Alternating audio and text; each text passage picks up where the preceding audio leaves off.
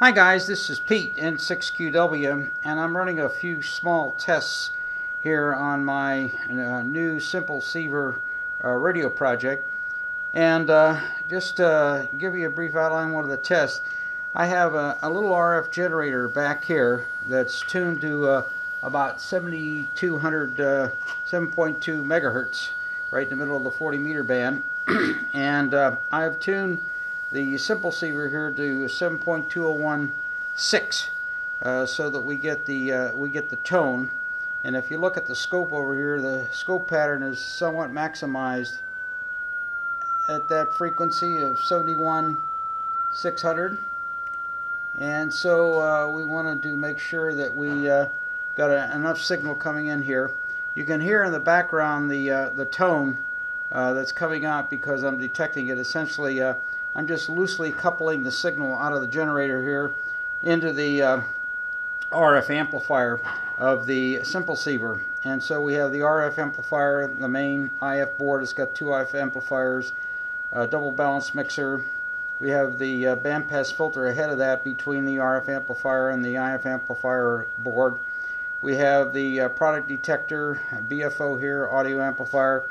This uses a pair of J310s, the RF amplifier, to uh, simulate a dual gate MOSFET. Uh, there's a pair here that's in the first IF amplifier, again simulating a dual gate MOSFET. Another pair of J310s, second IF amplifier.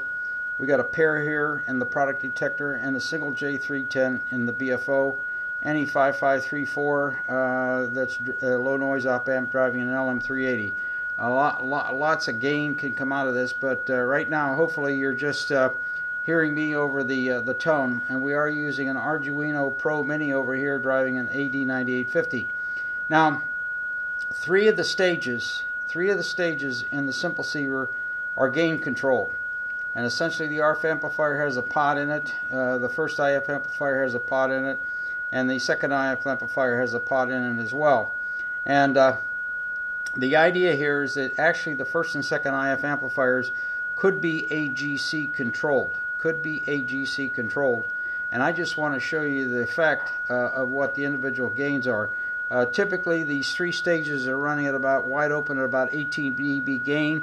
And uh, by adjusting the pot, which is adjust the bias on gate 2, uh, this drops the signal level down to uh, about 10 dB per, dB per stage. So we're going from about 30 dB across the three uh, to 54 dB at the at the max.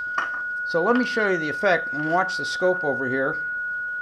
First I'm going to adjust the RF amplifier and look at that scope pattern and you can see the uh, matter of fact let me uh, just turn this a little bit so you can see the scope just a little bit better.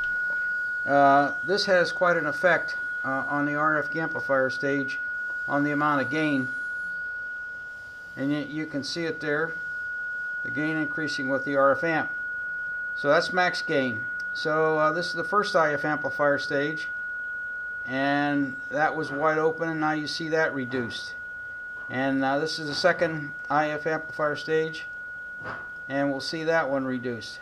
So there, there is minimum gain setting, minimum gain setting for all three stages, RF amplifier, the uh, first IF amplifier and second IF amplifier.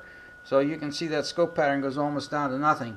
So now if I increase the gain on each of the three stages, you'll see what happens to the scope pattern.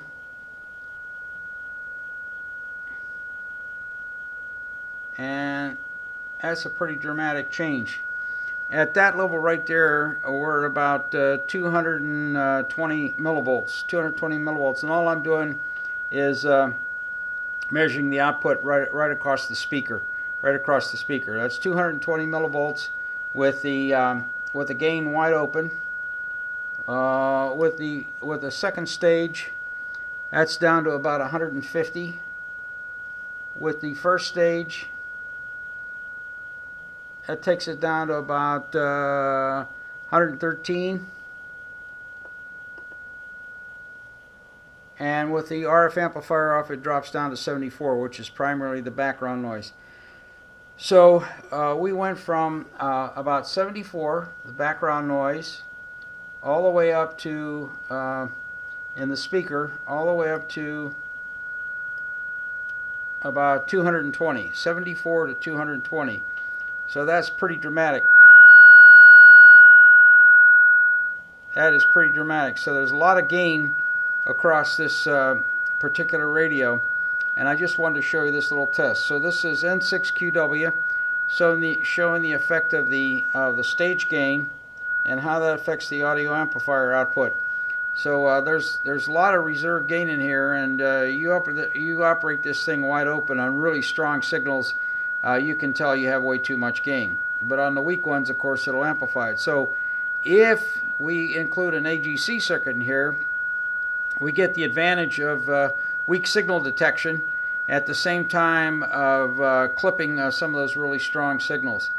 So again, this is Pete N6QW. I'm just running a few gain tests here on the simple uh, having receiver. fun up there. Just some listening At tests here. That's what? Is that north of uh, Frisco? Uh, no, it's actually east of uh, Sacramento. All right, there's there's a weaker signal. Now just listen when the other station comes back. Yeah, okay. All right, now I know where you're at. That's where Sacramento AGC Uh, that's where AGC would make make a real big difference. So uh, a lot lot of uh, strong uh, signal handling capability. We just need to add the automatic in control. This is Pete N6QW.